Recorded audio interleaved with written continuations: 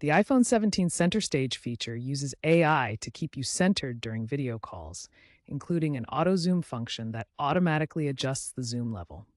While convenient, you might prefer manual control for better privacy or stability.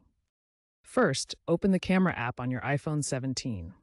Next, switch to the front facing camera by tapping the circular arrows icon. Then find the Center Stage button. It's a yellow icon showing a person's profile inside a frame positioned above the viewfinder.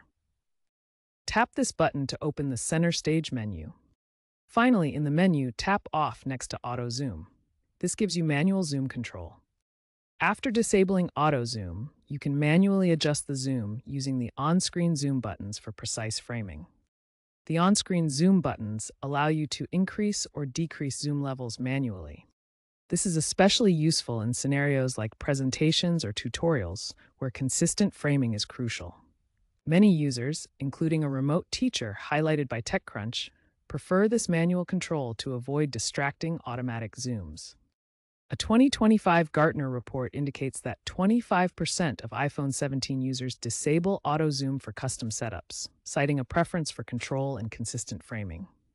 While center stage is helpful, disabling auto zoom allows for better control and a more professional or tailored video experience.